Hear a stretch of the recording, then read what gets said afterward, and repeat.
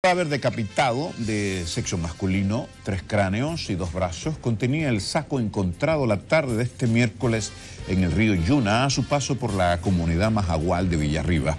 El cuerpo tenía los pies atados y se encontraba en estado de putrefacción, así como unos documentos dentro de una cartera que serán evaluados por los investigadores. Se presume que dos de los cráneos y las dos manos corresponden a otros dos cadáveres encontrados en circunstancias parecidas en la zona. Esto ha dejado uno sorprendido. Hace unos días atrás, dos días, apareció un cadáver este, en lo que es la salida de Arenoso, allá abajo, en la orilla del río.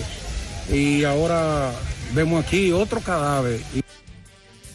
Los restos fueron trasladados al Instituto Nacional de Ciencias Forenses de San Francisco de Macorís para los fines del lugar. El mar